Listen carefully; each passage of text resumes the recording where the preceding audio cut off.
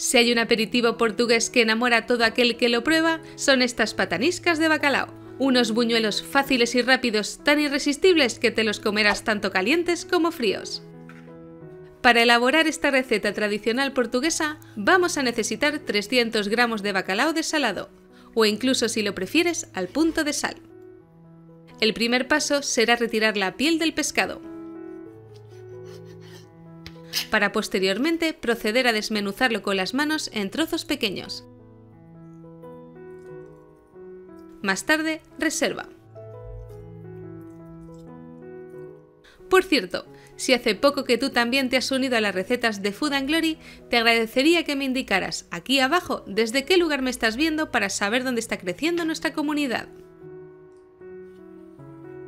A continuación, en un bol añadiremos dos huevos grandes. Bátelos.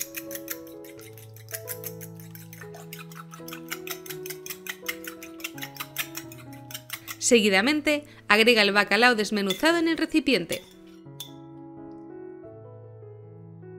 Para enriquecer nuestras pataniscas incluiremos media cebolla.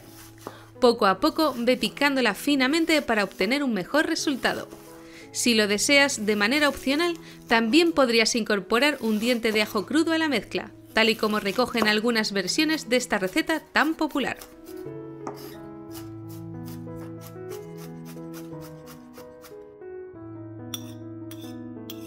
Por otro lado, el perejil fresco es otro de los pocos ingredientes incluidos en su elaboración. Con una cantidad equivalente a unas 2 cucharadas soperas de perejil bien picadito, tendremos suficiente. También añadiremos un poco de pimienta blanca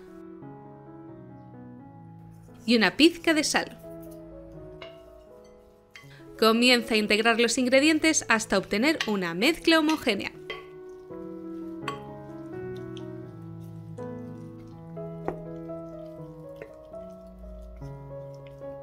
¡Estupendo!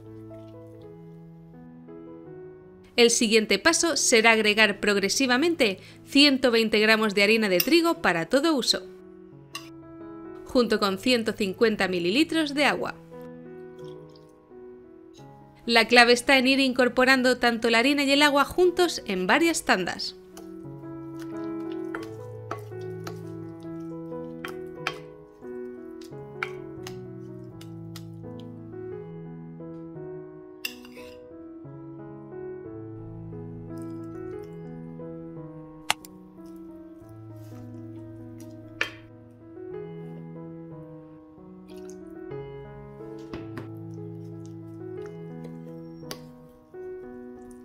Una vez que hayas terminado de incorporarlos, llega el momento de incluir una cucharadita de polvo de hornear o levadura química.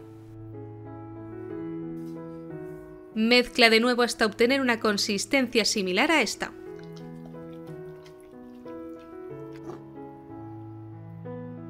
¿La tienes? Pues vámonos al fuego. Para cada patanisca vamos a tomar como referencia la medida de una cucharada sopera colmada. Una a una, vierte las cucharadas de mezcla en abundante aceite caliente para ser fritas. Lo ideal es cocinar nuestros buñuelos de bacalao en tandas de 4 o 5 unidades para no alterar en exceso la temperatura del aceite.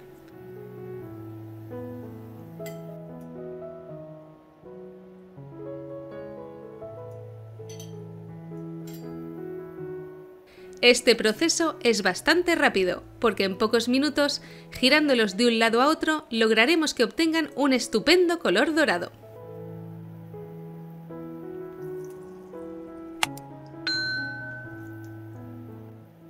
Aprovecho este instante para mandar un saludo muy especial a dos grandes seguidoras de Food and Glory, Mónica Laoz y Marisol Micino. Gracias por apoyar nuestras recetas cada semana, amigas.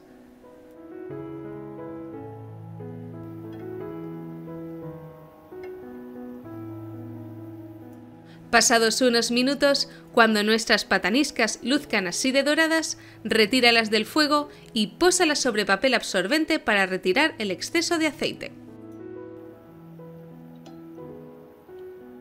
Ahora simplemente continúa friendo el resto de la mezcla hasta cocinar todas nuestras pataniscas. En este caso, con las cantidades indicadas obtendrás unas 18 unidades.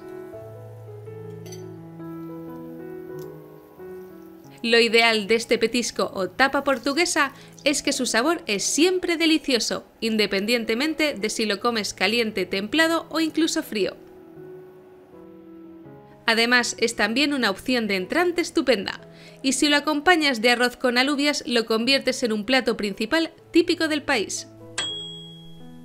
Mira qué pinta. Añádeles un poco de sal y si quieres come nuestras pataniscas con unas gotas de limón. Y ahora sí, disfruta de uno de los iconos de la gastronomía portuguesa desde la comodidad de tu hogar. Date prisa porque se acaban. Mi nombre es Bárbara y te doy las gracias por acompañarme en la elaboración de hoy. Si te ha gustado, anímate a seguir nuestra cuenta de Food and Glory, el lugar donde las recetas saben a gloria. ¡Chao!